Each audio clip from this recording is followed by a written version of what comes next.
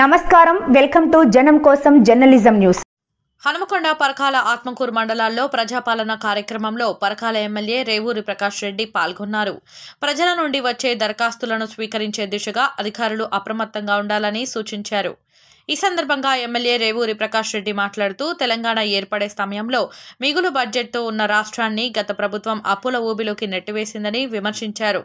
అధికారంలోకి వచ్చిన కాంగ్రెస్ పార్టీ ముఖ్యమంత్రి రేవంత్ రెడ్డి నేతృత్వంలో ప్రజలకు ఇచ్చిన హామీలను దశల వారీగా నెరవేర్చే దిశగా ప్రజాపాలన కార్యక్రమం కొనసాగుతోందని పేర్కొన్నారు.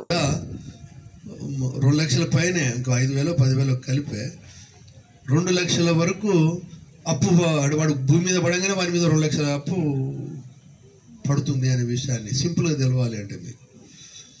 అన్నప్పుడు ఈ మిగిలిన ఇప్పుడు ఇచ్చిన ఎన్నికలు ఇచ్చిన వాగ్దానాలు కూడా నెరవేర్చాలి అని అంటే వాస్తవ పరిస్థితి కూడా ప్రజలకు తెరవాలి అనే ఉద్దేశంతో శ్వేతపత్రం ద్వారా వాస్తవాలు చెప్పడం జరిగింది. అని ఈ ఈ ప్రభుత్వం వెనుకపోదు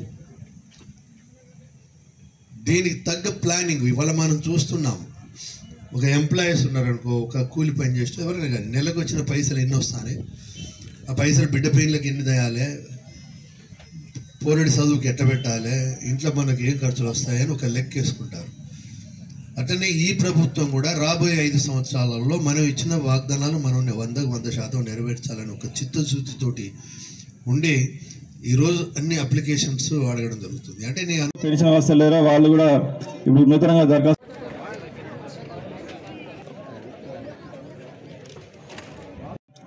కొత్తగా డయాలసిస్ బాధితులు కూడా